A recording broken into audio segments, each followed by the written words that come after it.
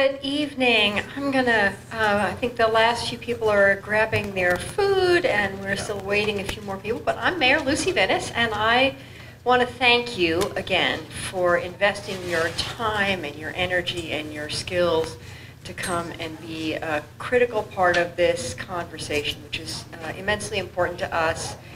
Council is waiting to hear what you have to say in just another month or so. And uh, I know it's I know it's a heavy lift for a lot of people at the end of a long working day um, in the middle of the week to make the time for this. So I very much appreciate you coming back, doing this hard work. I think today is the session that we are all sort of have been building towards where uh, it feels like the rubber really hits the road. So I look forward to hearing your conversation and thank you again for your dedication to our community and the work that you are doing for us.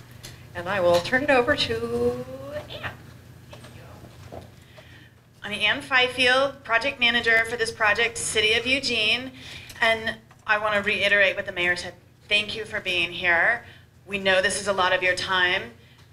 We know this is hard work. It's not a lot of fun. It's messy. A lot of this work is very messy. And please have patience as we all learn together and go through this. It's uh, I'm very optimistic that it's going to be a difficult conversation over the next two meetings, but it, um, you know, if it doesn't kill you, it'll make you stronger. Probably a terrible metaphor. um, and then uh, let's see. I want to acknowledge there's a lot of language that is jargony. It's complex. It's confusing. There's no way around it. It's jargony, it's complex, it's confusing. And one thing that we really want to clarify, because it is hard to have a conversation about affordable housing and housing affordability, it's just hard to have the conversation. Um, for the purposes of this group, just so we all have a shared vocabulary, so we don't have to have a 20 minute conversation every time we try to talk about a type of housing, we have generally said affordable housing means housing that is designed explicitly for very low, low income households. It's typically subsidized by government or a nonprofit agency, and it's income qualified. That's affordable housing with a capital A affordable. Just trying to make it so it's clear that's what we're talking about. Housing affordability is for all income levels. All households want housing that's affordable if you earn a million dollars a year and you live in San Francisco, rumor has it it's hard to find a house that's affordable. And so it depends. It's housing affordability is when we're referring to housing that is affordable to households across the income spectrum. There's a lot of nuance and little details in there, but just generally that's where we are.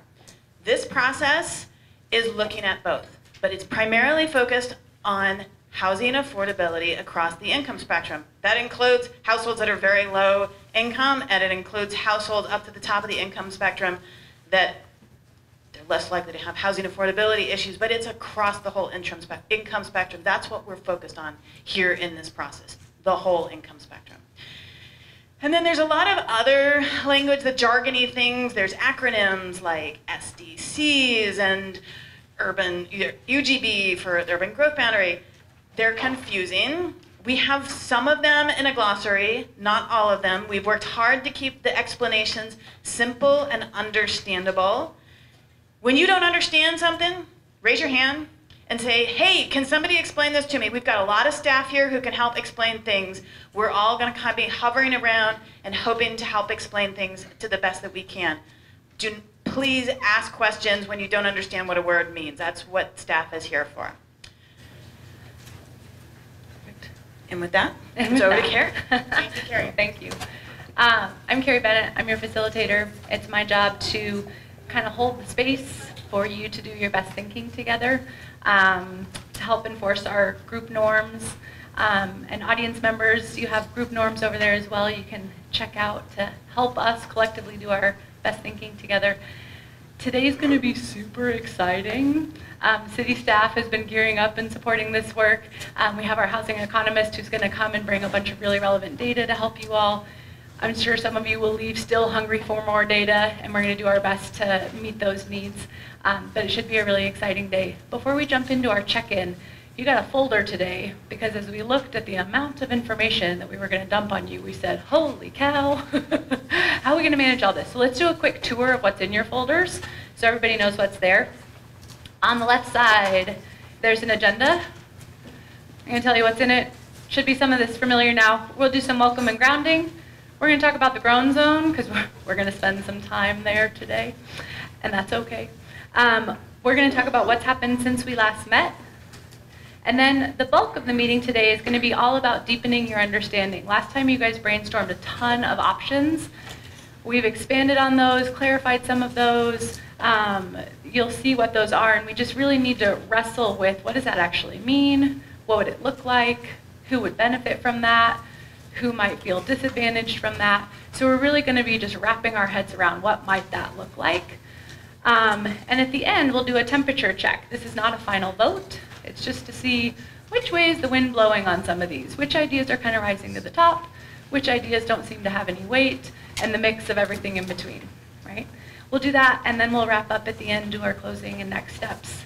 Um, it's going to be fast today, and it's going to be fast before we're back in this room again, um, having our final conversation and coming up with that final list to council. All right, so that's your agenda. Behind the agenda is your notes from last time, photos of all of that content. The next page is your participant evaluation, how you felt about all the different chunks of the meeting and feedback.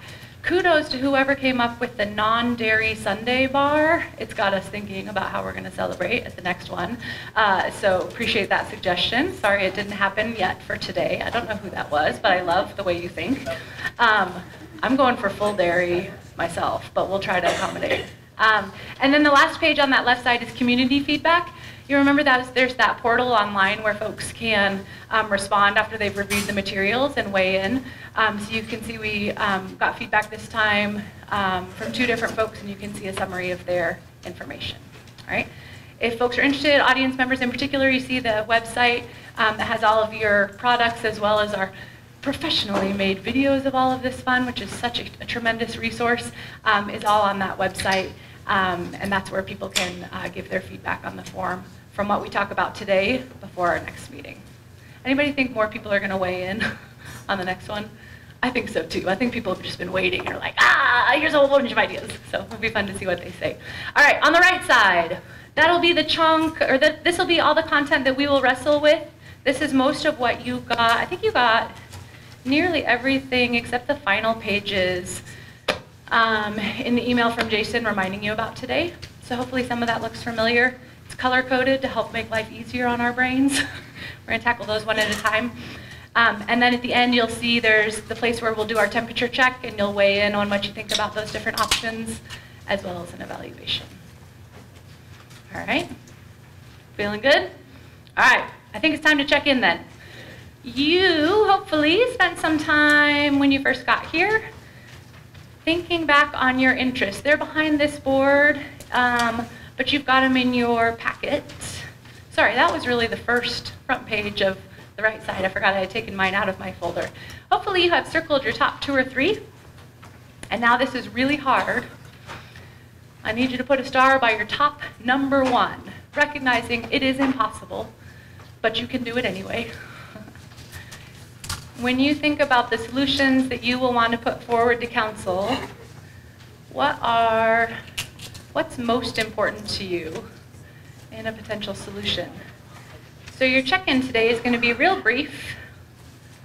I got some feedback you didn't like talking about what you were missing. That's fine. Um, we'll talk about you. I want you to just say your name, if there's an organization you're affiliated with or representing here, and what your top interest is. I'm going to keep a tally of them here. Okay, so we can kind of see which ones rise to the top, but you'll get a sense for yourself in listening, and those will feed into our criteria of how we'll collectively evaluate these. All of the interests are important, right? And even if you're the only one who thinks one of them is like the top number one thing, that's fine. But we can again get a sense of the will of the group of which one of these are most important. All right, I would like to start with whoever's ready and then if you're sitting next to that person, heads up. the microphone's coming to you. All right.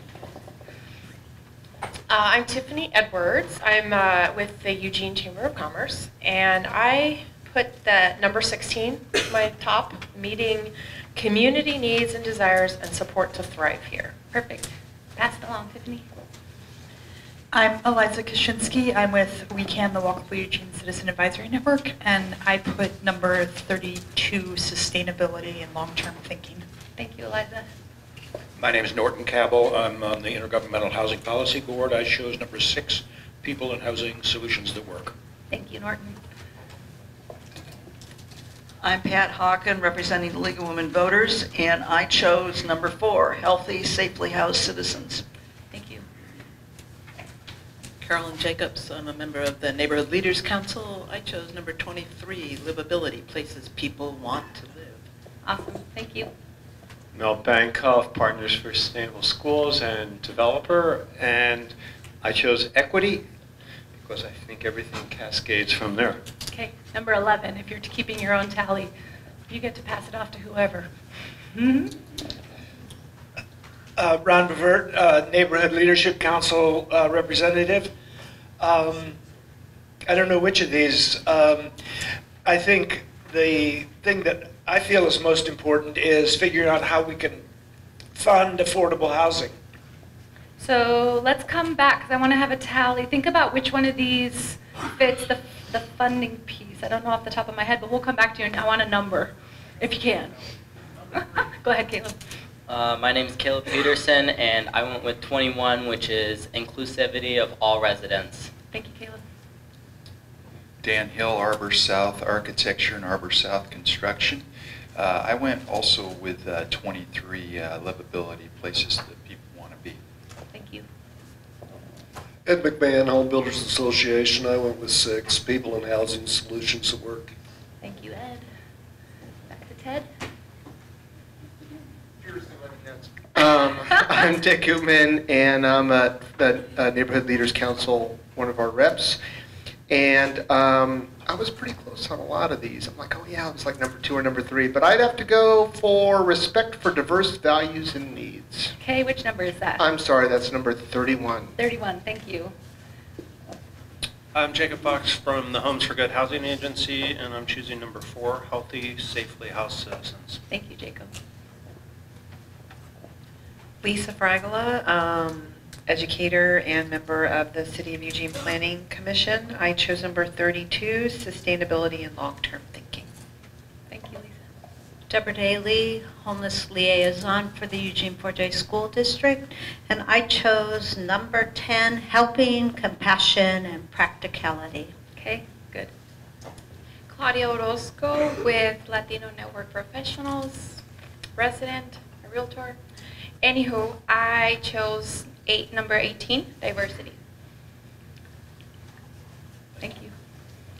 My name is Roman Anderson with Kimball Construction, and I chose number 24, partnership, public-private, all working together. Thank you, Roman.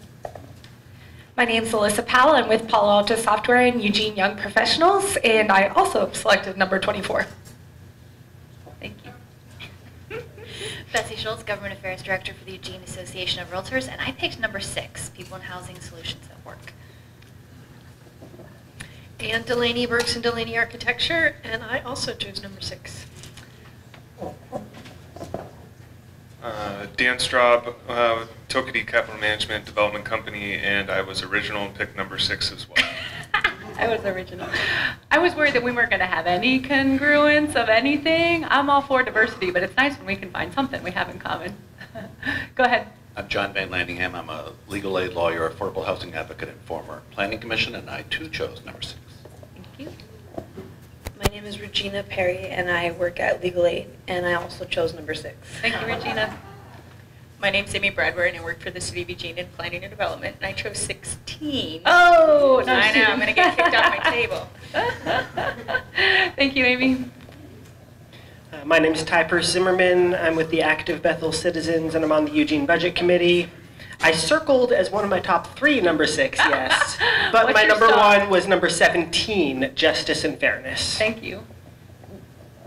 Chris Parra, Superintendent Bethel School District, and I chose number six. Number six, thank you. Terry Harding, Eugene Planning and Development. Number 11, equity. Thank you. Isaac, you're next. Isaac, and then we're going to come back to Ron and see. Yep, yep, we get him. I, I haven't had a chance to Oh, look yeah. at it, Do so it. I just walked in. Isaac, could you please just pull out your most important value from a list of 32 things in 2.2 seconds? We're going to come back to you. Ron, were you able to narrow it down to one? I have to pick one of these numbers. Uh-huh.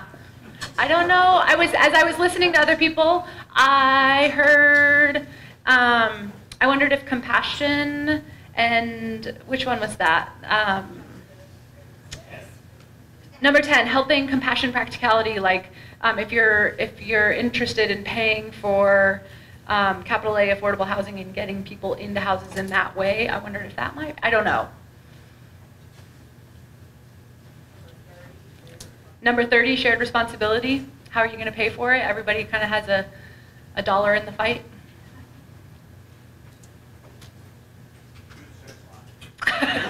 Six seems to be popular, but I, you know. We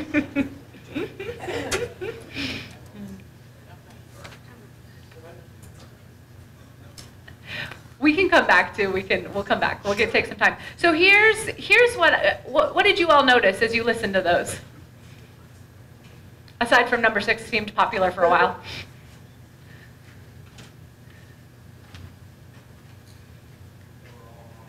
They were all awesome right? This gets us back to the wicked problem right? Of we want all of all the things and we remind ourselves that there are trade-offs right? Um, so there was a lot of really good ideas and it's hard to choose just one. Um, when we think about evaluating your options one of the steps in our process is defining criteria that says what's a good idea and what's not a good idea for our city. And there's certain things that we may not agree on, but there's there's several things that I think we can. Um, one is that things have to be legal, or at least that there's mechanisms to change the laws if it's not currently legal, right? So the one about um, selling bonds, right, was dependent on what happened with Measure 102. That passed, so that one now fits the definition of legal, right? Prior to that measure passing, it may not have, right? Because um, there wasn't a mechanism. Um, second is your criteria from uh, City Council. They want things that are going to increase the availability, the affordability, and the diversity of housing in Eugene. So your city council is saying, hey, give us solutions that fit with this. There are some options on your list that are brilliant ideas that may not directly impact some of these. Okay? It doesn't mean they're not brilliant ideas. It doesn't mean they shouldn't be implemented in one form or another. But we want to be mindful of they may not be perfectly aligned with this specific goal. Okay? Um, our other ones is that it meets as many of our interests as possible.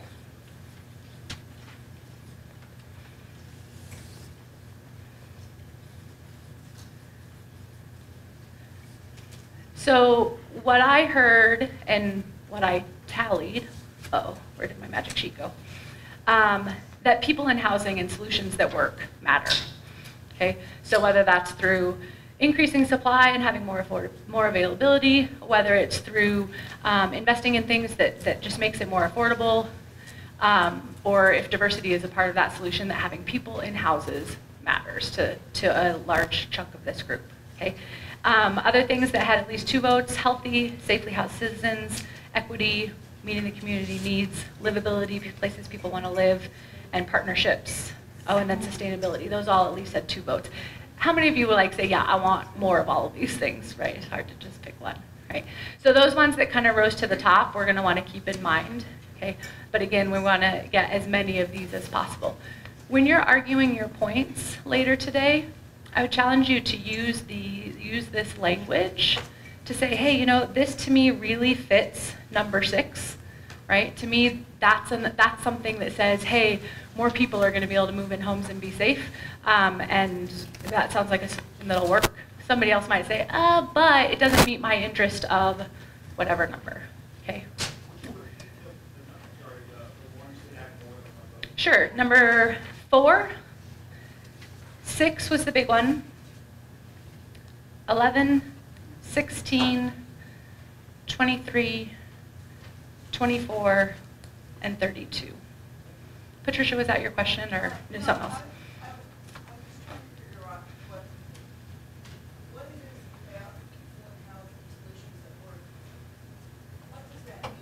Mm.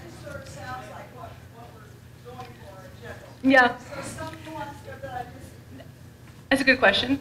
Um, I think that what that actually means will be worth exploring in your conversation, right? So when you look at one of the options, when you look, when you read it, you'll want to do that gut check for yourself and say, so in my mind, that sounds like it'll work because, but da da da, right? So what that actually means, I think, will come out of your conversation, right? And and what will work? Um, you'll hear from Sarah tonight. There's there is no one sil- single silver bullet that's going to solve all of this, right? It's going to take a combination of these things, and even then, your solutions might be imperfect. But how do we how do we improve the balance, right? One more. I guess when I'm aware of when I look at this, I guess what I'm aware of when I look at this, I can pull up any one of them, and all the rest of them are interconnected. Sure. Sure. Yeah. These and this. That's why we don't want to spend, you know, too much time delving into well this or well that. Like the interconnection of them, and and also the way people define them, right, is is going to be very different. What what livability means to one person and what livability means to a different person um, could be could be have different interpretations. So good. Um, so let's remind ourselves of where we're at in the process. Um, this is kind of our roadmap. We spent a lot of time talking about the story in our first two meetings. Some of you were chomping at the bit 'cause you're like, let's talk about solutions. but this is the way that we understood the problem together. Last time you identified your interests, and that's the list we were just looking at, and you brainstormed options. There will be times today in your small group with it where if there's new options that you've thought of that aren't on that list, you can add them. I hope there won't be like a giant flood because let me tell you, y'all did some really good work already. um, but I know that there are some other really good ideas that might come up today, and that's fine, we'll add them. Okay. Um, we have just discussed some of our criteria. That's kind of like our spaghetti strainer that says what defines what gets caught and that we hold on to and like, and what ideas are we going to have to let pass through. Okay. Um, today we are going to spend more time delving into what those options actually look like, understanding them better, and weighing them against our criteria. Saying, how does this meet those criteria or not? A little bit of today is straw design that says, what if we this? Thank you, Jason. What if we that? Right? Just kind of experimenting before you have to get to number six there, um, which is our ultimate agreement and implementation. All right? So we'll think about that like trying some things on. You're not committed to buying anything. You're not stuck with your votes today, um, but it's just kind of testing out what combination of things might work. All right. Here's why today's going to be hard. Real briefly, I don't want to belabor this because it's kind of facilitator mumbo jumbo that not as not everybody gets excited about. But Jason, could you stick that up somewhere for me? Sometimes groups struggle at this phase of a process and it doesn't feel very good. When we start out, this is in your handbook if you are wanting to follow along. I can't remember what page, but you'll see the same graphic. When we start out with a problem, we often have a solution that we think, yes, if we would just do this, it'll solve it, right? And we start exploring and we start figuring out new things, and it's like, oh, all of a sudden, this idea that I thought would be our answer is more complex than that, or that may not work, or that has these drawbacks I didn't think of, or it's not the only answer, right? Eventually, as we broadened all these ideas, we have to get to a solution that we can work with. So we take all the millions of possibilities and all the complexity of it all, and we have to narrow it down again for a list that we can send off to your city council and say, hey, this community of people recommends these things. The turning point in between these two is hard. It's hard because we have to let go of the one idea that we thought was really brilliant from the get-go. It's hard because some of us just love when all the possibilities are on the table and we don't like to have to give up some ideas that we thought were good. For some people, it's hard spending all the time on the front end. They just want to get to the solutions. So there's tensions in that. Um, but what, we're, what you're going to wrestle with today, and this is, this is called the groan zone. This is from Sam Kaner, who is um, a masterful facilitator in uh, the Bay Area. Um, and, and this is a sign when you're in the midst of this, as you're trying to round that corner to really evaluate things and come up with your top solution, it can feel awful because it's complex, it's overwhelming, there's a million different reasons. It's not a sign you're doing it wrong, it's a sign you're doing it right. Okay? So when you feel that today and you're like, ah, it's okay. It means we're doing it right. um, some, some tips to help get you through the groan zone patience. Okay, if you can put on an extra pair of your patience pants today. um, persistence to get through it. Say, this is hard, but we're going to do it. We're going to get to that other side. And the third um, element I invite you to bring in is curiosity. Okay? Assume that of all of these things, the best ideas will surface. But if we're going to do this working together, we've got to be curious about one another's perspectives. Okay? With our consensus model, the way you're going to be most impactful with getting people to support your ideas is showing them how that idea meets their interests. Okay, it's not just this is a brilliant idea because it's this is a good idea for what's important to you and this is how it can help what's important to you.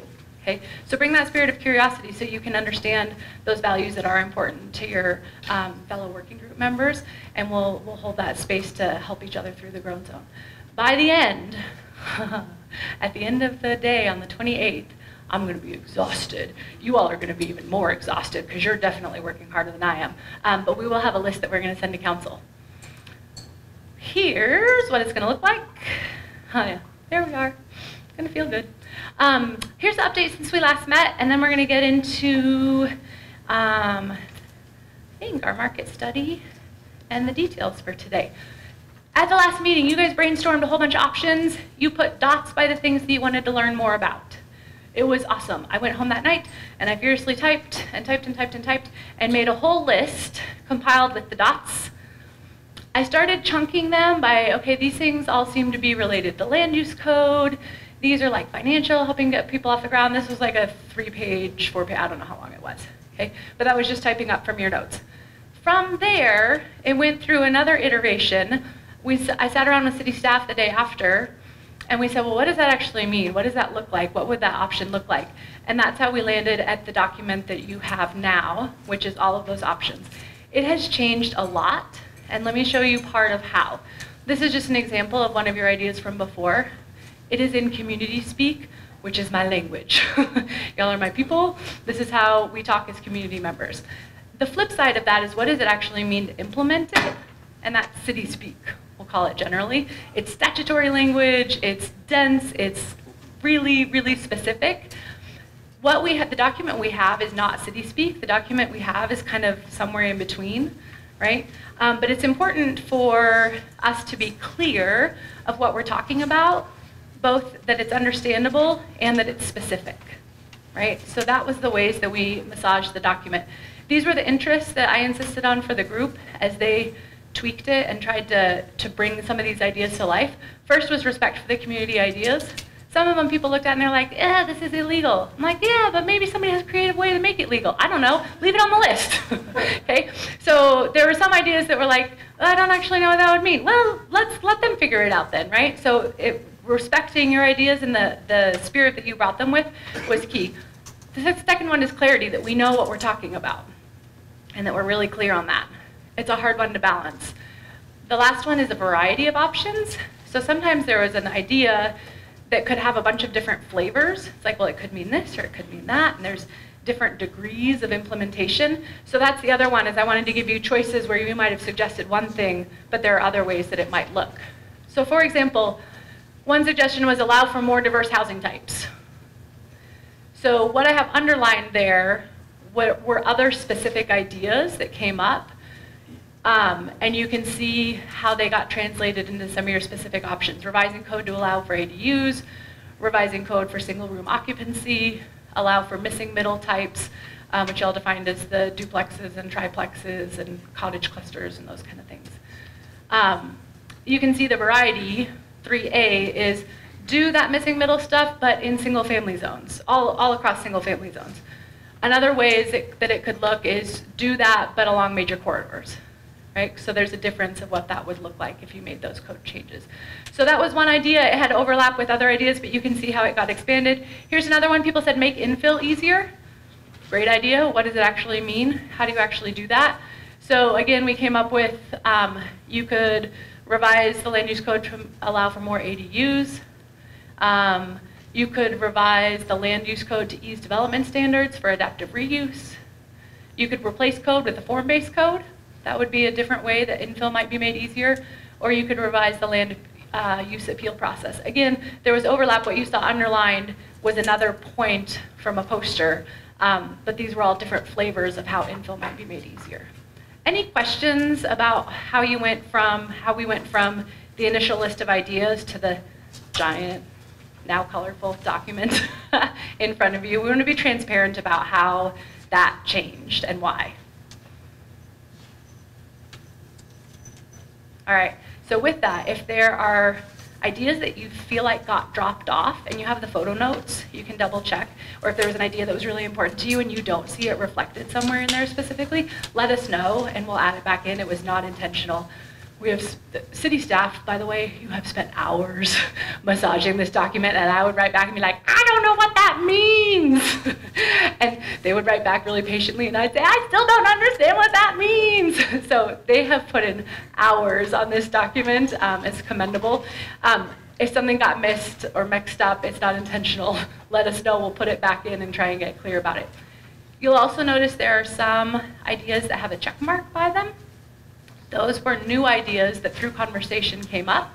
And I said, ah, how do we add that back in? But if it's an idea that staff wants to talk to council about, staff wants to put out there to their leadership, I figured it's a good idea to pass it through you all and see what you think. You might look at those and be like, no, terrible idea, vote it down. Or you might say, oh, that sounds smart. I'm glad we have that to consider. Okay, so those ones with check marks did not initially start from the working group, but as they thought about ways to implement some of the other things or meet some of your other interests, they were ideas that came up. Any other questions about those? Whew. Awesome. So, to remind us, our end goal is to go from that full list of, how many did we end up with in the end? 50 something options? Plus the ones that you can make, add today and ultimately, we want to kind of sort it into ideas that we have a unanimous agreement around. I still believe in that. I think we're going to get there. All the way down to ones where we have no agreement. Less than half of us think it's a good idea. So we can send it to council and say, do it if you want, but the working group had less than half of you agreed with it. Okay? And with each of those where we don't have unanimous agreement, we'll have the arguments of why that's a good idea, what interests it meets, as well as kind of the minority report or the arguments against it, and why folks um, have reservations about it. Yeah. Define again, agreement and partial agreement. Yeah, those are in your handbook. I don't remember the page number, but we can find it pretty quickly. Um, if somebody is faster than I am with their handbook and has a number, I believe it is on page, yeah, 10 and 11. So 10 is the values of reaching a decision by consensus and behaviors to help you get there. 11, specifically 11.3, defines some of those thresholds. Separate from the numbers, I'd encourage you to spend time thinking about what consensus means, the, the content on page 11. It means we've listened to all the ideas, we've considered all the perspectives, even if a solution is imperfect, it's the, the results of our best thinking. Okay?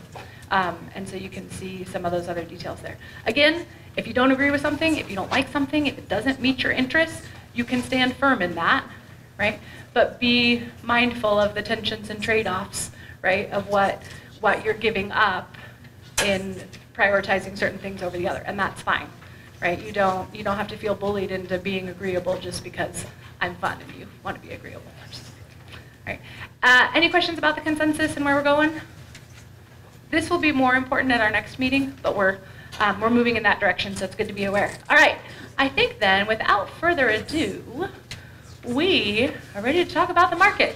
Um, as Sarah is coming up, I want to tell you that Sarah is with us from the Bay Area, San Francisco? Okay, San Francisco specifically. Um, she um, has been hired by the city to do the full economic analysis and recommendations for this project. If you remember our context over here, we are, you are the working group, we are the working group, and you are making your recommendations to council. Sarah's firm, Strategic Economics, is also giving in- information to council um, that will be very, very thorough and um, comprehensive. We have this permeable membrane because we want you to learn from the information expertise that she brings in, right? And you can decide what to do with that information. But she's here today to um, give us a, a sense of the market in Eugene, um, but also then address some of the other questions that you all had. So we'll be hearing from her throughout the night. Sarah, take it away. Your mic's not on. I gotcha. Sorry. There you go. Okay.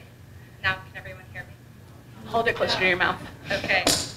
Um, so my name is Sarah Graham, and I work with a firm called Strategic Economics. We're an urban economics consulting firm. The firm's actually based out of Berkeley, but I live in San Francisco. But um, regardless, we're working with the city of Eugene to conduct economic analysis to support this process and also to provide uh, recommendations to council in December.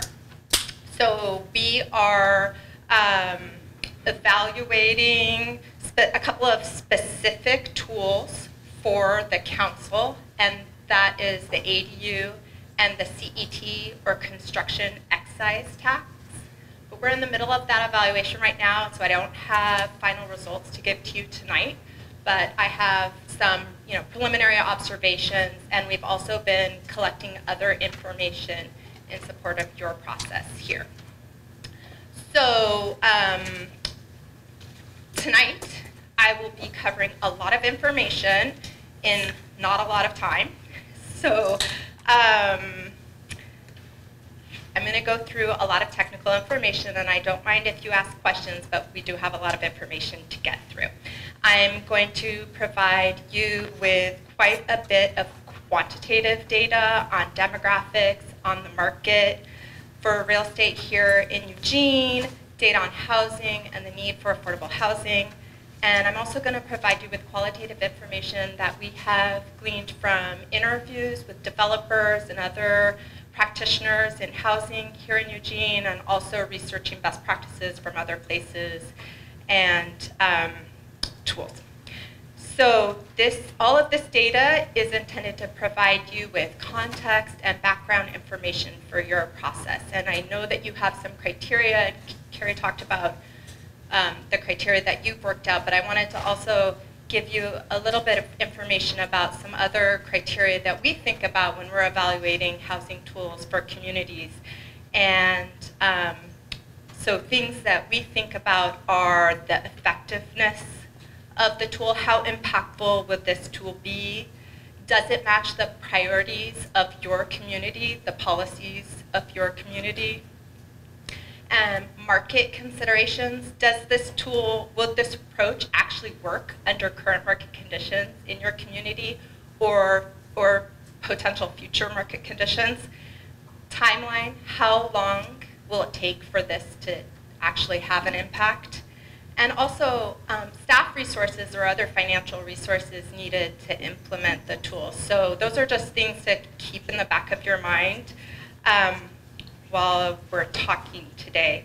Um, so the information that I'm providing tonight hopefully will help you think through those things and I have a couple other notes to start off before I even get into the data.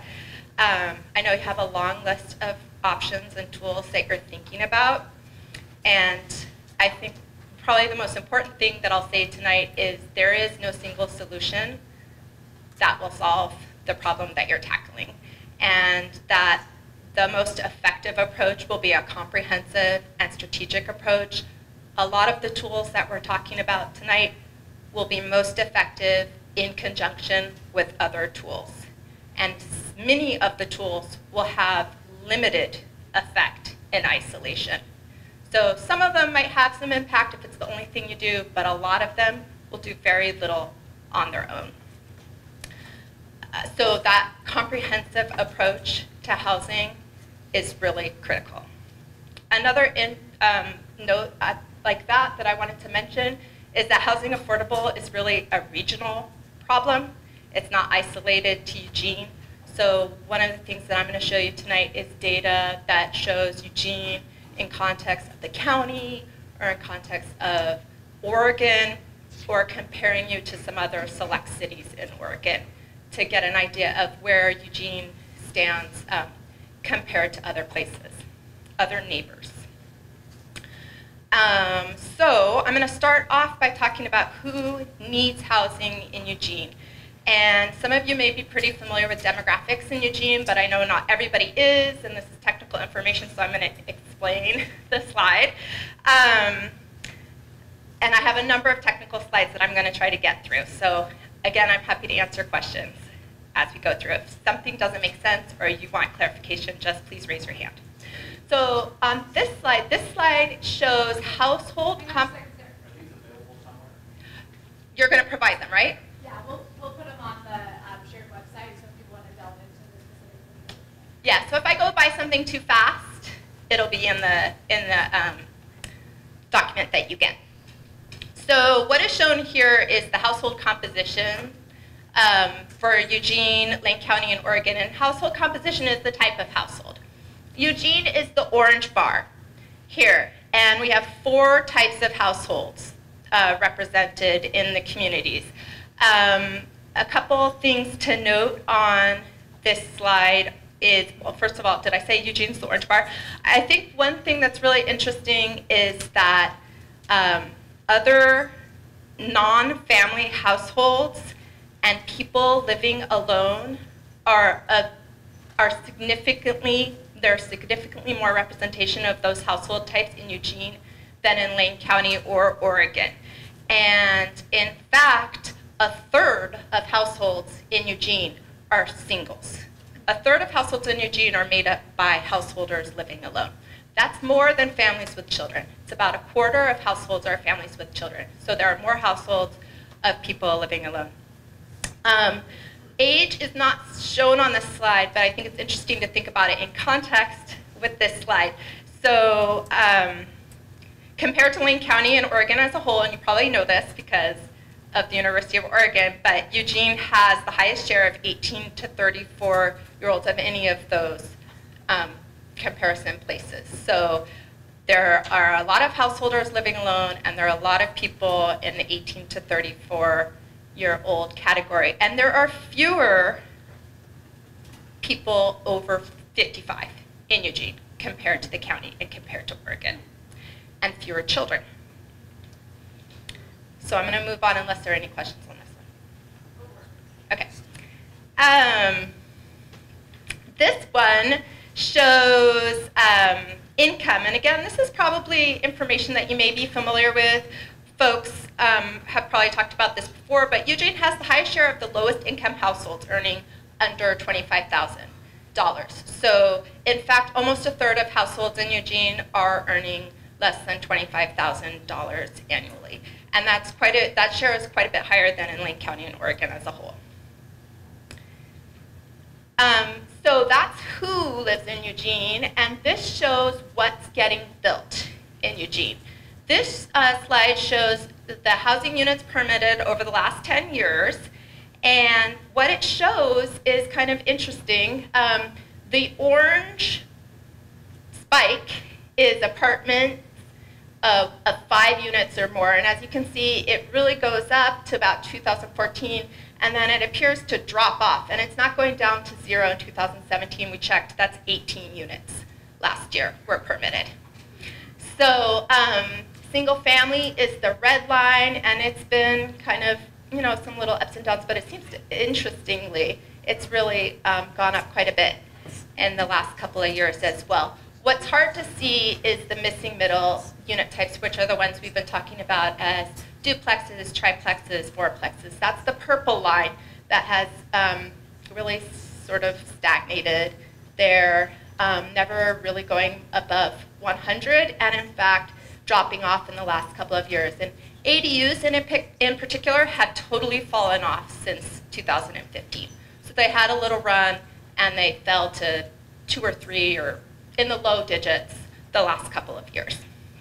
So that's what has been permitted in Eugene over the last 10 years. The fact is, is that today, housing in Eugene is largely made up of single-family homes. About 55% of units are single-family detached, and an additional 60, uh, 6% are single-family attached. Um, and then about a quarter of the units are apartments, and the rest are those other types of units. So, um, all that being true, uh, what I'm not showing here is the comparison to other places in Oregon. And it is true that Eugene has more diverse housing than most places in, in Oregon that we looked at. Probably not Portland, but yeah. So you said in 2017, only 18 units of multifamily housing was permitted? have been permitted. And we checked on this today, and staff said that there may be some more coming in this year. We don't have 2018 data, I'm sorry to say. But, um, and, but yes, it was 18. And projects with five units or more. We double checked. um, so moving on, this, this slide shows, and this one's a little hard to read, and I'm sorry for that, but I wanted to show median sales price um, by place in Eugene. And so you may have heard that the median sales price in Eugene for a, for a single family house is $315,000. Um, that is for all existing homes in Eugene. What this shows is the prices for newly built single family homes. So these are homes built since 2014, so over the last four years, um, that and sales over the last year for those newer homes. And I'm going to just let you know some of the prices here. So 97405, which is South Eugene, I should also caveat that the data is actually for homes in the borders of Eugene. Even though the zip code, the data comes by zip code, um, and that's how this map is displayed. Uh, the information is just for Eugene. It doesn't go beyond the borders. But 9745 are the South Hills homes. The median sales price for a newly built home is $545,000. Um, 97401, or sort of central Eugene, the median sales price is $453,000. Uh, West Eugene, I'm calling it West Eugene, 97402, it's, it's pretty close to the median, it's 321,000. Um, North Eugene or River Road, Santa Clara area, it's 386. So that's closer to those median prices. But some of these area, other areas, newly built homes are quite a bit higher. about sizes of the homes? I don't have data on that, but I can, I mean, it is something we can add for next time. These are single family detached. Yeah. But I do have some data.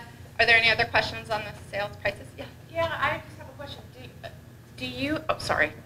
Do you know by zip code how many homes yes, I have, have been in each of those? Yes, and it's, I do have that. So, um, the, the numbers sort of correspond with the prices. So the areas that have built more homes, um, more or less have the uh, prices closer to the median. So um, the 97404, which is basically River Road, Santa Clara area, uh, the median sales price is 386. There were 81 homes sold over the last year, make up that number. But for example, 97405 in the South Hills, 16 homes, um, and the average was 545. So that's that's more or less the trend. The more the more homes have turned over, the closer to the median the prices. Any other questions on that? Okay. Yeah. How many in 97402 while the numbers While we're on it, um, 30. None of the numbers are huge, and these are not homes built in the last year. These are sales. Yeah. But those numbers. These are sales, newly constructed since 2014, but it's just the sales in the last year. Yeah. So it's the most recent sales prices that we could find. So moving on to uh, multifamily units. Um, this again, the data comes by zip code, which is not perfect, so please forgive the names that I applied to, your, to the neighborhoods if it's not quite exactly what you would call them. Um, so, uh, with no surprise, Central Eugene or 97401 has actually produced the greatest number of units. Um, and then West Eugene has uh, produced the second largest number of units. Um, and so I don't know if you can read this, but so Central Eugene has increased units since 2013 by 11%. For example, the university neighborhood has increased its units by 36%, but it started on a really much smaller base, so it's a lower number. Does that make sense? I'm going to show it with rents in a minute. Um, So this is looking at multifamily, sorry, just to clarify. This is for all people, multifamily. Previous was single-family homes. This this is is multifamily units. Okay, thank you. Number of multifamily units. Um, and then this slide shows us those rents for multifamily units by zip code. So what's interesting about this data is um, the green band, again, is the overall amount that rent has increased since 2013. The, the rest is the total rent. So the average rent in Eugene is about $1,050 a month for every, everywhere. Um, but you can see it does vary a little bit by area. In central Eugene, it has, it's right, it's pretty close to that median, um, and it, it's increased about 17% um, over the last five years. But in some of the other areas, it's increased quite a bit more. Up in North Eugene, um, rents have increased 22%. In the River Road, Santa Clara area, rents have increased about 63% over the last five years. Where's student housing fit in this? It's included, if it's multifamily, it's all multifamily. Or if students are living in single-family homes, they would be, I mean, they're captured in that inventory. As, as renters, probably. Yeah, I don't have rent data for single-family homes. Unfortunately, that's really hard to come by. Yeah. So what does this all mean? How affordable, and this is the small a affordable, not the designated affordable that we defined earlier, but how affordable is housing in Eugene? Um, we looked at that $315,000 median house, and it would require a household income of $62,000 to be able to afford that, and that's not really even talking about how long it takes to save up the down payment, et cetera. But to pay the mortgage, um, it would take 60, an income of $62,000. And then for the median rent of about $1,000 per month, this is for the multifamily units, it would require an income of about $42,000 a month. And the median household income in Eugene is just about 45,000. And this is the median for all types of households. Um, just as a point of reference, those non-family households that I mentioned earlier, the median household for a non-family, um, the median income for a non-family household is much more like $25,000.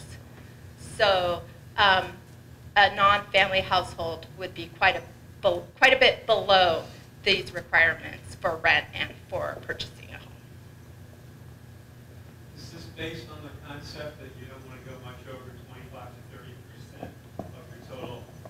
Yeah, basically, so we use a, a little bit of a different standard for for sale, for ownership products. So we typically, it's, it's the same basic premise. We use 30% for rental, that you shouldn't spend more than 30% of your income on your rent. But then we usually figure about 35% for home ownership because it's an investment and maybe folks can spend a little bit more on home ownership. But it's the same basic premise. Okay, and I think I'm way over my time, Carrie, so I'm going to go fast. Um, I, I think a lot of you have seen this information before, but this slide shows rent burden in Eugene compared to Oregon. And the, the Eugene is here on the left. The green band are households that are spending 30% and more or more of their income on rent. This is for renters. And it's 58% of households are spending that amount. And in fact, 36% of households in Eugene are spending more than 50% of their income on rent. So that is a severe um, rent burden. And it's quite a bit more than in Oregon as a whole. And how many affordable units are in Eugene? There's about 3,400 deed restricted affordable units in Eugene. That accounts for 5% of Eugene's housing stock. So 5% of the housing units in Eugene are designated affordable.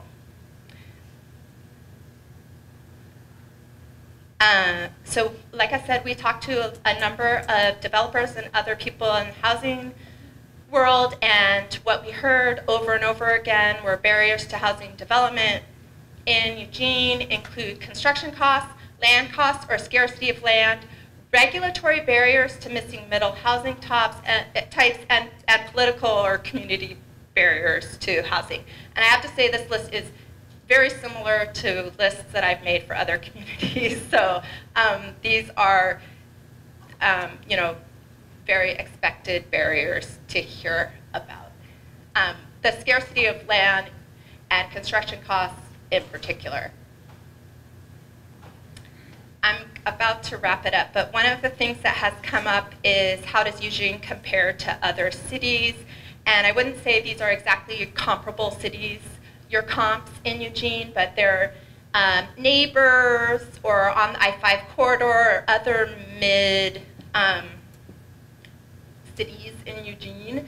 And basically what we found is that Eugene has added um, population and housing units about in line with Salem and Springfield. You're growing at about the same rate as they are, adding population and housing units, um, and Bend is growing like leaps and bounds um, over the same period. Uh, a couple examples from other places of what has been the experience. These are bigger cities who have a different experience than Eugene, but in Portland and Seattle, people have asked, what about in Portland and Seattle? They're building all these units of multifamily housing. What's happening there? Um, in fact, in Portland, they have permitted over 40,000 apartment units since 2012, and rents peaked in 2016 and have since declined by about 9%. Um, also, you may know, but last week, Portland area voters actually approved a $650 million bond measure to build thousands of homes affordable for low-income residents. So that passed. Um, and then in Seattle, rents had been increasing dramatically. Over five years, they increased by 50%, um, but starting last year, they did start to decline, and now there are reports that they may have overbuilt um, multifamily units in some neighborhoods that are considered hot market neighborhoods. Um, they've now they're now seeing apartments that are not getting filled, they're not leasing up, and they're adding concessions to leases to try and attract renters. This is new information, though it's not a settled matter, but that's what the news is saying about Seattle. Oh, that is the end of my slides, but I just wanted to say, um, just to sum it up, um, because I know that was kind of an avalanche of um, data. But I think that the takeaway is that based on the demographics and the economic data available on Eugene and the housing composition here and what's getting built is that there's basically a mismatch between the demographics, the type of households that are present here in Eugene, and the type of housing that is available. So for example, one third of households are people living alone. It does the housing composition in Eugene provide appropriate units for one third of the households. Similarly, another third, there's probably some overlap, but there's a third of households that are earning less than $25,000 a year. Are, is the housing that's available, is the housing that is getting added to available housing providing appropriate um, units for those households. So I'm happy to answer any questions, but I think we have to move on to.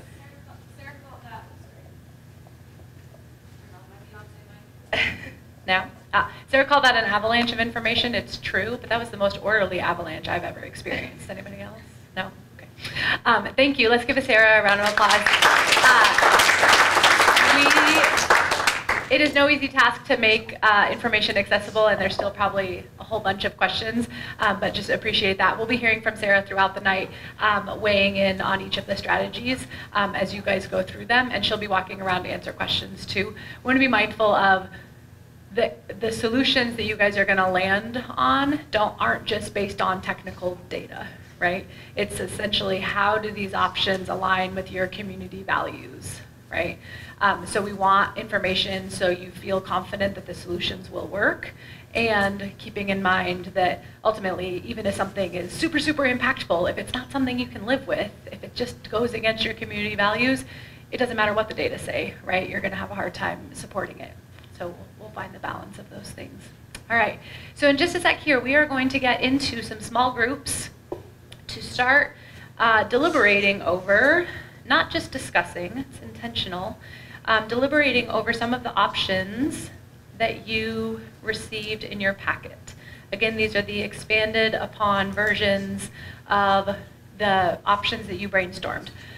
I like to think of this as a all-you-can-eat buffet.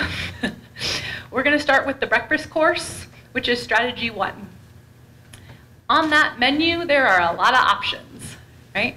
Um, the idea behind it is removing land use um, code barriers so that you can increase the availability and, um, in some cases, the diversity of housing that's out there. Seeing that as a strategy, a approach. Some of you might look at that already and be like, I hate breakfast. I'm skipping it. I'm going to lunch. I want to just invite you for each of these to think of this like trying it on. You're not committed. We're not going to force an omelet down you. Okay? Just try it out and say, what would be good about this? What would be drawbacks about it? Right? And as you do so, think, well, what, what would that egg actually look like? Or what would that omelet, or what would that cinnamon roll, whatever it is, what would that actually look like? Um, so we can wrap our heads around it together. Some of you will be serving as translators. Those of you who are like experts in this field and this is what you do when you speak city speak already um, can help as you have other people in the room that are like, I don't know what this thing means, right? Help me understand how this relates to my values. So thank you in advance for serving as kind of your interpreters to this.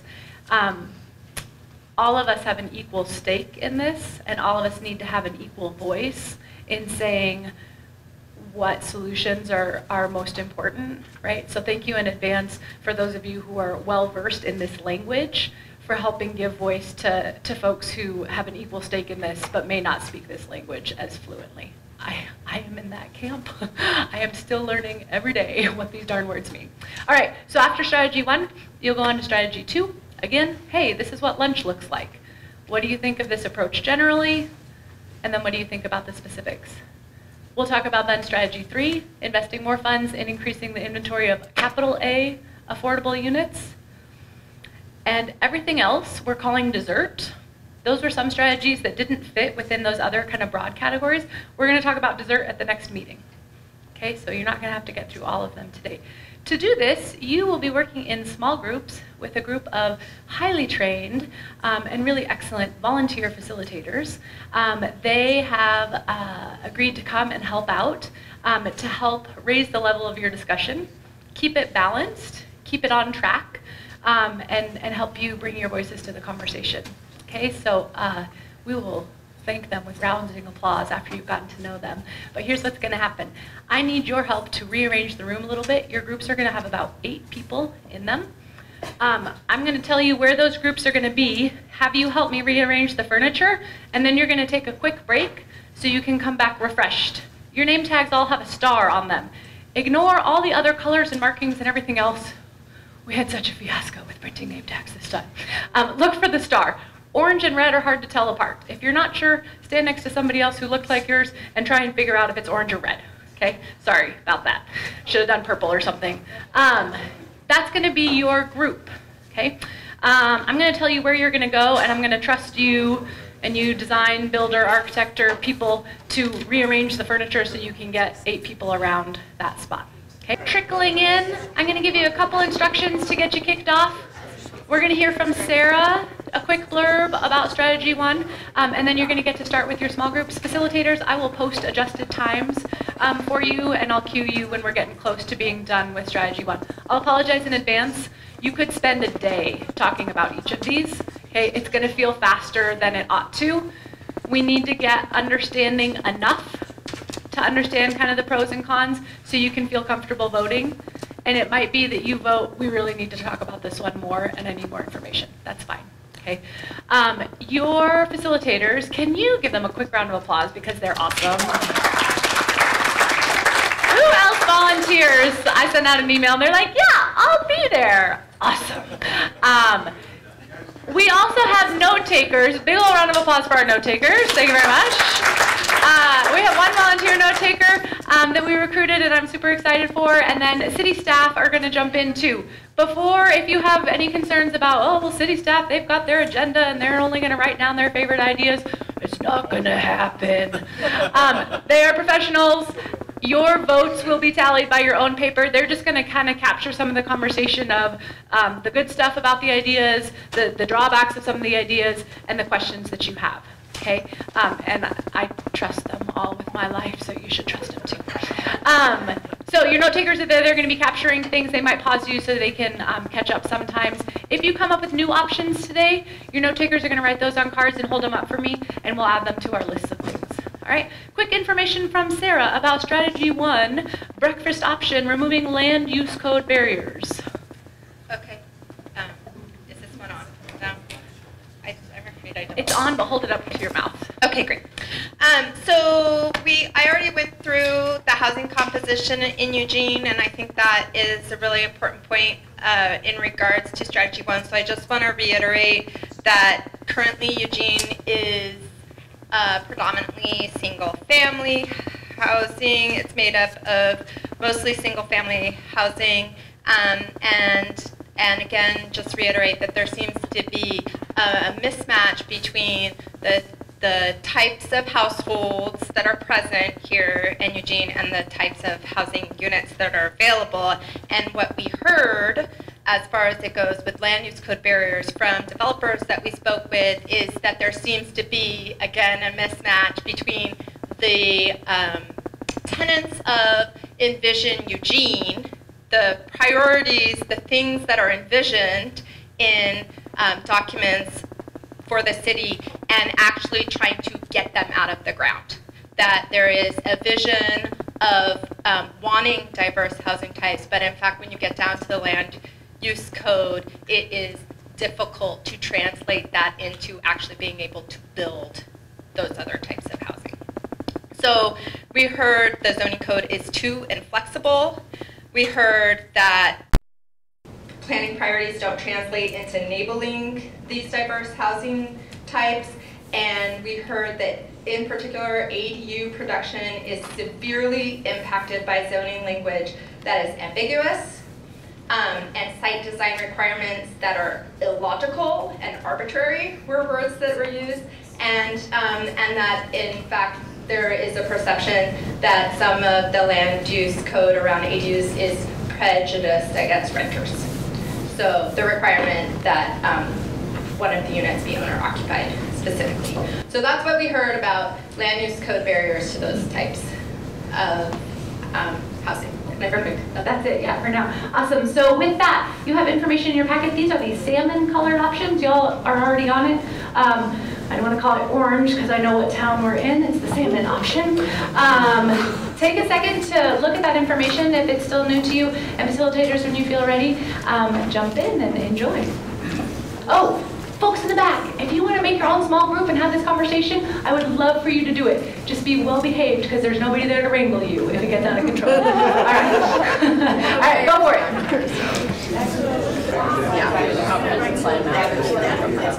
So right now, if a property owner has uh, the land that the plan says multifamily housing, something is still single family, they have to apply for the change, change in zoning to what's envisioned under plan. And. So, like, we're used to it. But in other places like Bend, they made the two maps and so then it reduced the process and time associated with having to apply zoning the future.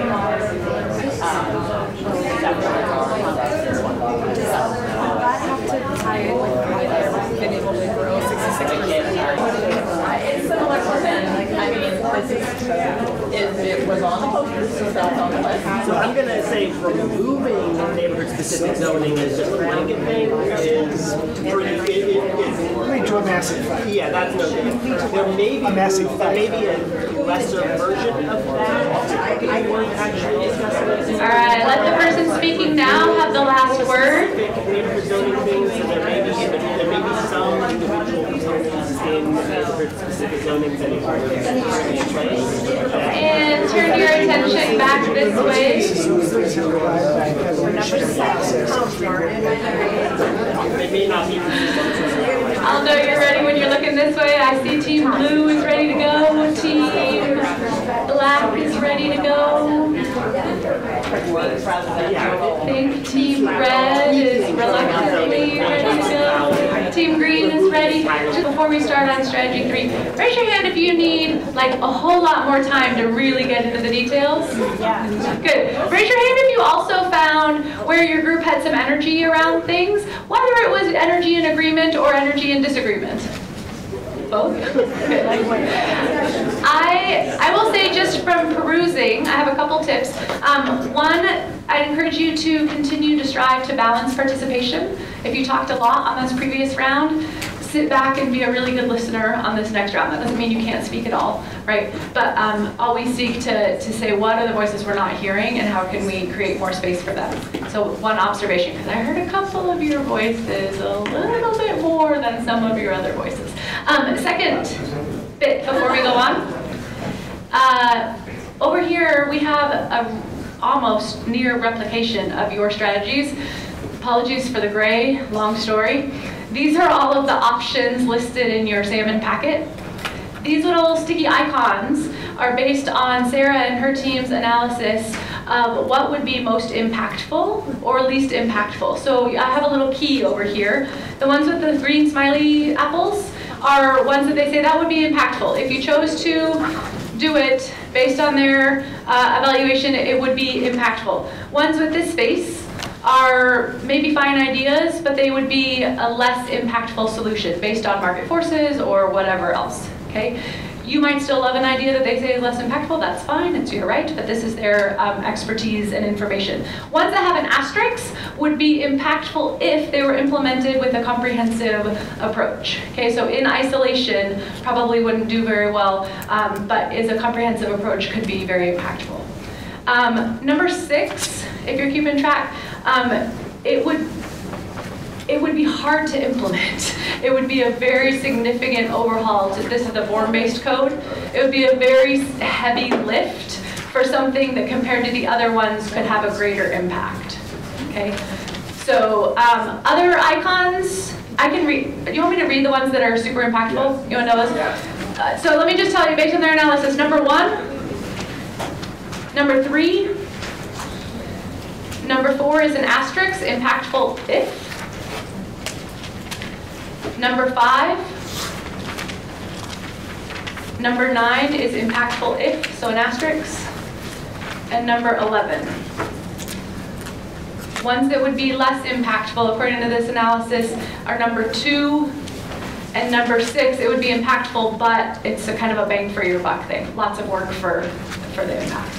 Um, ones that have hearts are a different code. If it has a heart that's pink, it's already happening. The city's already doing it. You've got a code in there that indicates that. If it has a green heart, it's already happening, but it could be expanded. And those are the ones that have the city logo plus. All right. If you want to keep track, your paper ballot or your straw poll is in the back of your packet. If you want to be filling those in as you go, we'll have plenty of time at the end to do them. But if you want, it's kind of a beige color um, in the back. If you want to check some of your favorites based on the conversation just now, you can do so. All right. I know it's not enough time. I'm sorry. Let's move on. Oh, I got a couple new options. Um, we'll add them to the mix at the end, but note takers, thank you for passing those along to me. Um, go ahead and pull out your yellow packets for strategy number two. We're going to hear from Sarah. This is our lunch menu. Uh, we're going to hear from Sarah about her thoughts um, from the economist perspective on strategy number two. This one is about um, removing some or reducing some of those development costs to increase inventory that way. Go ahead, Sarah. Okay. Um, so one of the things that I wanted to note in regards to this is we did not conduct a full market analysis for Eugene. That wasn't part of the study, but we did what I would call a, a market scan. So we showed you some of the information that we collected. We have talked to a number of developers. We've looked at market data. So I cannot give you a comprehensive market analysis right now, but I can tell you that it appears there is demand for housing in Eugene, and that um, No way. there are pretty low vacancy rates for a variety of housing types. So apartments and single-family homes have relatively low vacancy rates right now. Um, rents have been increasing for multifamily. Prices are going up for single-family. There is demand for both types of, of housing. Um, and so as far as reducing cost and time burden for the development of housing, we heard specifically around costs um, that under the current conditions right now, under price, you know, prices, rents, and um, the cost for development is very difficult to make a reasonable return developing missing the, the types of housing we're calling missing middle housing. So we've heard from a number of developers that they have taken losses on this type of housing. They've, they've produced this type of housing and they've taken a loss in the past, or they produced it and squeaked by. Um, the costs are not in line with the prices. So um, the permits for developing, specifically for developing townhomes, are taking too long and are too difficult. The planned unit development process has the potential to significantly delay uh, projects, and the appeals process adds delays and costs to multifamily um, projects. And we heard a lot about the SDCs for that system development charges. So these are the charges that the city um, puts to pay for infrastructure and facilities in the city.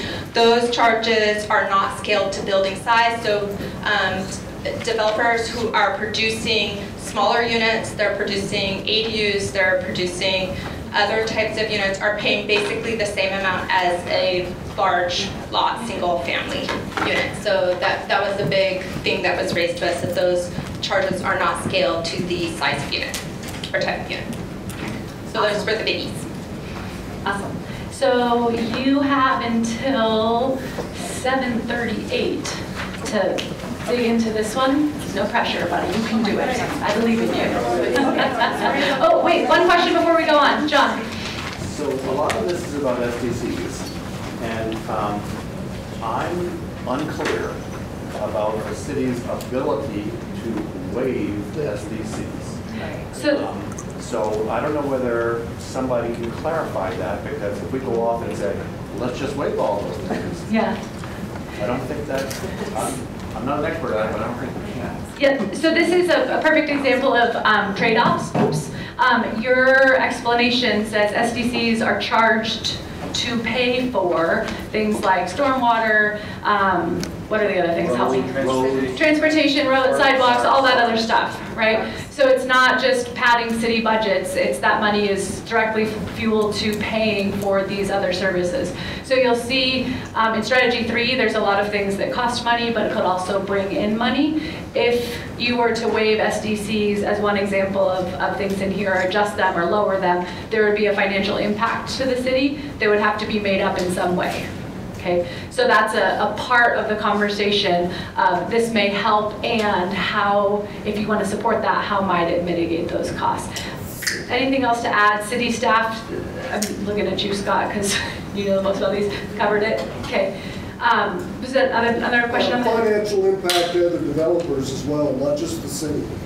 Of decreasing SDCs? Yeah, yeah, there's a capital improvement list that has to be paid for, and if there's reductions on one end, the, the rest of the group has to make up for it. Okay, so another So, context piece that, that because of certain uh, expectations to make capital improvements, if those budgets were limited um, by implementing some of these, it would have effects in that way, that those, those costs would have to get made up for those capital improvements. Okay, good, thanks for providing that context information. All right, dig in. Okay, so just okay. And turn your attention this way so I know your group is ready.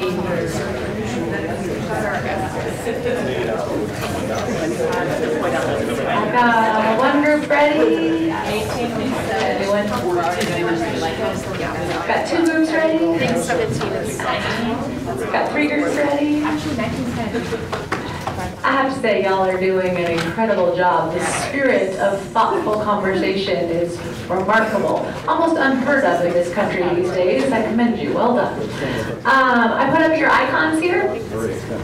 If you want to know the uh, impactful ones, uh, we have marked 13 and 16, and also 18 impactful if. That's the, if it was implemented as part of a comprehensive plan. Caveat on this, and I forgot, ones that are unmarked, they may be impactful, but they would need more study. So some of them may turn out not to be impactful, but it- they were ones that, given the amount of time um, that Sarah and her team had, we- they weren't able to do a full comprehensive analysis of all of them. So for example, number 12 could be tremendously impactful, we don't know yet, okay? Um, So if it's something that's unmarked, it's possible that it could be impactful, but it- there wasn't enough clear information to make a decision on it yet. Um, So I meant to include that in the last one, sorry, I didn't. All right. Um, I think we're going to hear from Sarah about strategy four. I'm sorry, strategy three. Strategy three, working our way through the rainbow um, onto your green packets. Um, so a little bit of background information, and then you'll have time to work with your groups again. Uh, compliment yourselves for real the amount of listening and what I think I hear and oh I didn't know that. Um, this the spirit of deliberation that really is remarkable so I appreciate that as you launch into your last round. Go ahead Okay, so strategy three is related to increasing the inventory of and access to the capital A affordable housing. Um, so I believe this is in relation to designated affordable housing. And I, I, just a couple of things I wanted to highlight there. We have already talked a little bit about what this means, what affordable housing means, but I just wanted to remind you that currently Eugene has about 3,400 designated affordable units. That accounts for about 5% of the total housing stock in Eugene. Um, and that uh, for the most part, these units are designated for very low income households, for low and very low. So those are households with incomes under 50% of the area median income. And then when we when we've been talking to people, um, some items rose to the top through those conversations. Things that we heard are um, and things that are just a fact are that um, federal funds for affordable housing have been declining for years. So the availability of federal funds is declining over time. Um, at the same time, construction costs for multifamily housing is increasing. And um, and we talked to a number of developers about the construction excise tax, just in general, and we heard a lot of concerns about that. Um, and the construction excise tax, to remind people, the revenue from that would be used for affordable housing, but it would apply to market rate housing. Um, but we, we heard a lot of concern that an additional tax may negatively impact project feasibility. We haven't looked at that yet, so that's something that we could do a quantitative analysis on, but we haven't completed that. Um, but developers did respond very favorably to um, incentives, to potential incentives for providing additional affordable units. So these would be tools like density bonuses or some other fee reductions or waivers or um, changes to things like parking requirements. So incentives were perceived as very positive, additional taxes were not. All right, with that then, this is your last round with these people. Make it count. Strategy three, again, start globally with generally what do you like about this idea, and then you can delve into the specifics. Um, appreciate I've gotten some new strategies or new options from folks. We'll, I will add those all up at the end, but we've got them. So pull number 20 with the caveat, but right? If you're taking that money from somewhere, there would be impacts to that, right? So you could realign, one of the options was spend 50% of city budget on housing related things. That would be tremendous. I don't think we included that specific one, but that falls under this. It would be tremendously impactful and there would be those trade-offs, right? Um, number 20C, a lot of the sub ones didn't get evaluated, but 20C did, um, and saying yes, bonds would be impactful. Uh, number 25 is an asterisk, impactful if. 26, impactful if. Again, that's as part of a comprehensive plan. 27, impactful if. And 31, impactful. And you're still looking at uh, 20B. 20B, yeah, they're, they're doing analysis of the CET. And um, can, I think, Sarah, can some information on that be ready at the next meeting? Yes. Yes, great. Some. Some. Awesome. Before we go on to uh, adding the new options, can you all take a big old breath and applaud your volunteer facilitators and note takers? Uh, I was tickled pink to get such a, a qualified and skilled group to um, jump in, and then the staff's willingness to jump in as note takers as well is a tremendous resource. So thank you. We've got some really clear next steps that need to happen before the end of the night. I wanted to, we're going to walk through those, and I just ask you to hang with me. Facilitators, if you need to jet, thank you people, and just slip your way out if you want to stay and see how this lands with dot voting, etc. Stick around. Um, so we have some new options that have been suggested. I'm going to ask who, can I get a non-biased volunteer to help me translate these two that just came in onto a post-it? Anybody? Leah, thank you. Take the, this card and add it onto a, a green. Don't worry about a number, I'll give it a, a number. All right, in your packets, on the right side, towards the back, there's some kind of nice quality, heavy-duty taupe colored paper taupe, I don't know, I think that's a color. Um, there's a couple pages that, that is the, where you'll do your straw polling of the existing options. What I need you to do now is find the one that's blank. It doesn't have any options filled in, it is blank. This is gonna be a little bit messy, and I'm gonna ask you to bear with me. This is a trade-off of, can you add more options? Yup. Can we consider them? Yup. These are brand new, it might be hard to vote on them, but I'd like you to write in that first little line on that blank page, 3C. 3C is enable more, so we had 3A and 3B, but this is 3C, enable more missing middle in greenfields or large subdivisions. If you just write 3C, that's fine for me. You don't have to write the rest of the text, but if you want to remind yourself. Option 3C is about enabling more missing middle in greenfields or large subdivisions. What's a greenfield? What is a greenfield? Anybody? I want a green. Land with nothing on it. Land with nothing on it. Oh. Okay, without contamination and so not hazardous waste sites. All right, that's not green fill. That's number 7A. Again, you can just write down in that next line, 7A.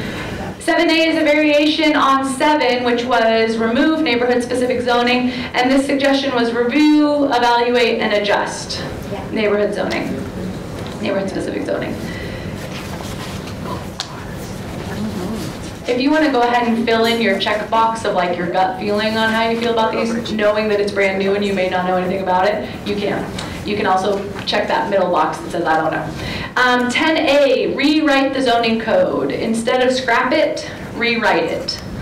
So the pieces of what that would be may include some of these other things, but saying it needs a, an overhaul, rewrite it. Anne's like, oh, I'm just kidding. All right, new option, again, under the strategy, and it says number 50, because it's brand new and it comes after dessert, just to keep us all straight. Number 50, add pre-approved ADU plans. So kind of create some plans that are pre-approved. I don't know what these mean either. So take that for what it is, and at the next meeting, if there's enough oomph behind it, then people can fill in. Number 52, there is a 51. Number 52, mixed use on major streets.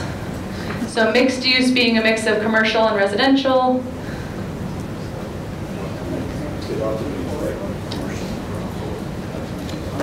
John was just clarifying, commercial on the ground floor, residential above, you can imagine that. What are you considering a major street? Uh, can, is it fair, I don't know who suggested that, is it fair to say the key corridors? Or do you want more than that? Collectors? It wasn't my idea. I think it was more than that. More than the key corridors. Yeah. Okay, so more than key corridors, additional streets in addition, we would need to delve into some of those specifics, it sounds like. All right, couple more. Number, this is now in the next chunk, these are the yellows. 12E. 12E, place a cap on the SDC waiver. So limiting how much can be waived. Again, there might be a bunch of nuance in these things that we'd have to work out if it was something you wanted to go forward with the next meeting. 12F, scale SDCs to size and impact of what's being built. So we have 12 is adjust it. 12F is like a sliding scale based on the amount of impact it has based on si- size and impact. And number 51, those of you that were- antsy about 50 to 51 or 52, change state law SUPTE. E. I have no idea what that means. SUPTE? Single, single unit property tax. It said SUPTE, but should it be MUPTE? No, it should be SUPTE. So, all right, so this option, I have no idea what this means. Change state law for SUPTE, For single, for single family property tax exemption. for single, single-family property tax exemption.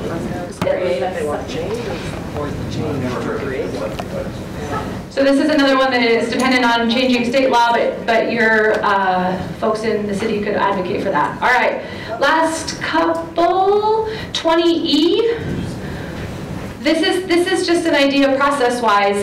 The idea is to rank the sub-options. So start with one of them, start with the most popular, best one, and then depending on how that goes, implement the next one. Okay, so I don't know that that's an option we need to vote on. What, would I- you explain it?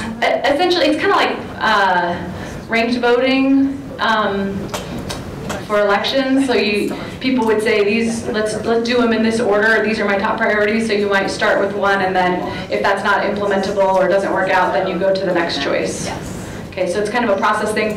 I don't know that we need to vote on it because council can just see these are the most most popular and decide how to implement them. But if you want to include that as a way to work through multiples of those under number 20. Um, 20B, this is not, you don't have to write this one down. This is just FYI, this option 20B shifts the overall market priority for what should be built. So that was a, a point of information that people felt like was lost. That was one group wanted to clarify 20B, that shifts the overall market priority for what should be built regardless of how you feel about that. Wasn't that information out there? And 20B asterisks. I just have sliding scale.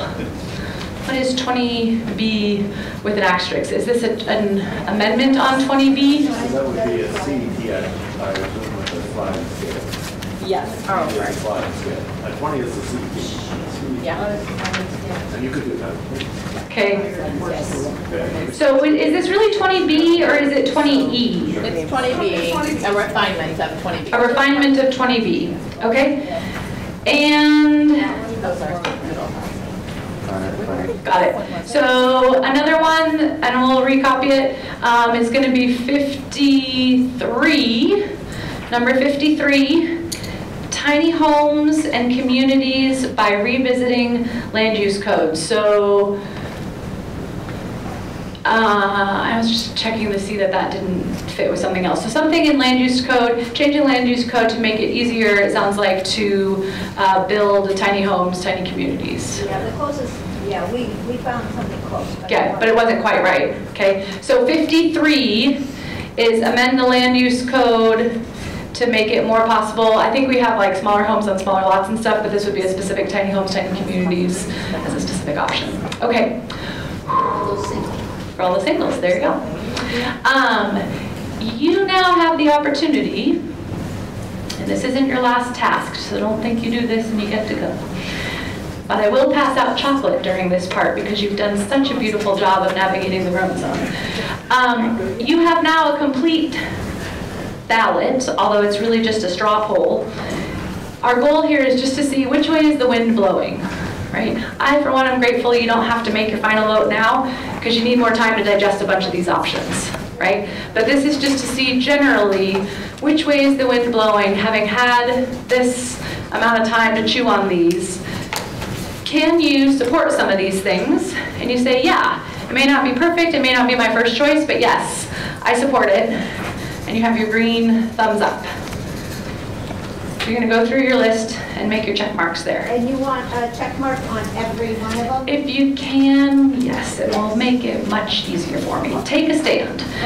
If you're not sure, if you say, oh, I have some reservations, I need some more information, but I wouldn't block it with where we're at now. I'm not like so opposed to it that I would say, mm, I just can't live with it.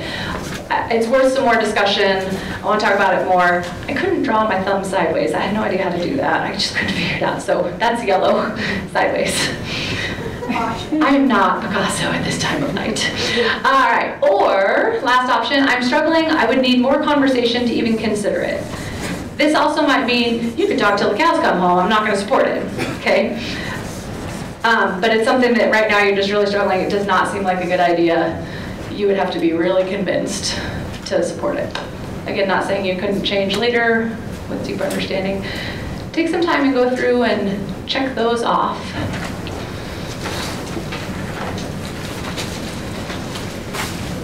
Limited dots on your paper. Okay. I'd like you to take your green dots and put them on your favorite strategies. If you only got to have, think you have nine, 12, 12 dots. If you only got to have 12 of these go forward, which 12 would you do? And if there are six that you just couldn't live with, um, eight that you just couldn't live with, where would you put those red dots?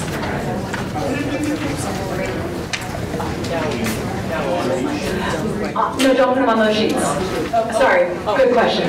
Don't put them on your sheets. You're gonna come up and put them on our sticky walls. Let me, let me have folks' attention for this.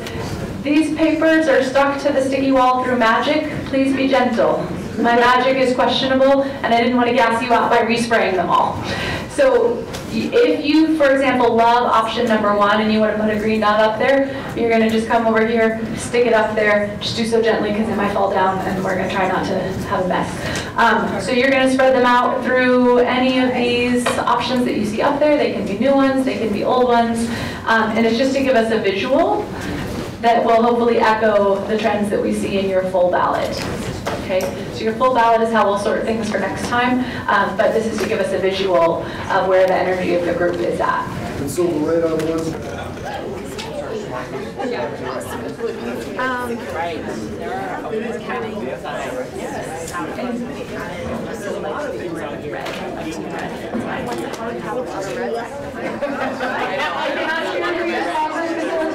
Just put the color on your, on your star, which color group you were in. If you don't remember their name, that's fine.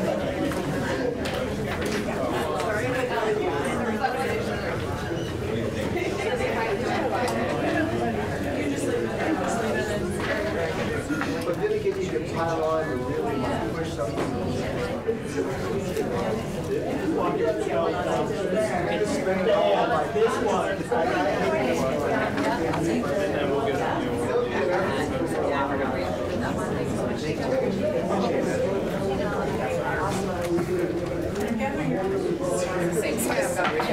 Green one.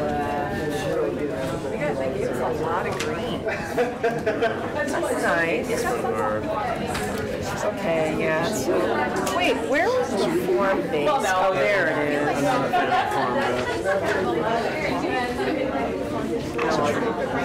Why don't you like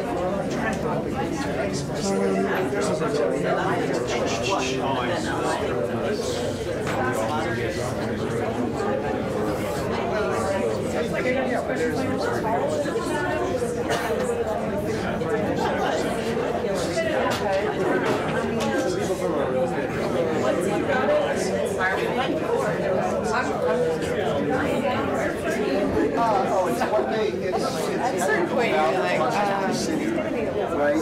And so it's auditing the process to be like, like one thing we came up with, uh, one of the couple developers at our table, was the idea that you need like a team lead on a project. And that they handle, basically, you go to the team lead and then they distribute that information out. But actually having like a single, like a, like a web, like a secure website where all the documents go, everybody puts all the documents there. and That's where they get pulled off and signed, it's like a one-stop, so everybody has a complete picture of what's going on. Because they're complaining that, I definitely found this, is that the right hand doesn't know what the left hand is doing most of the time. Right. No, here's one, just there's single like property tax, it's exactly what to take rundown, um,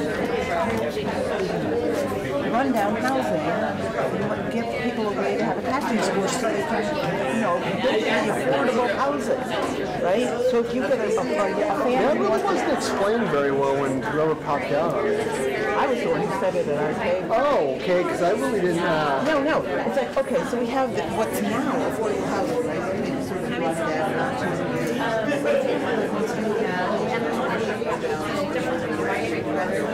right? We sort of run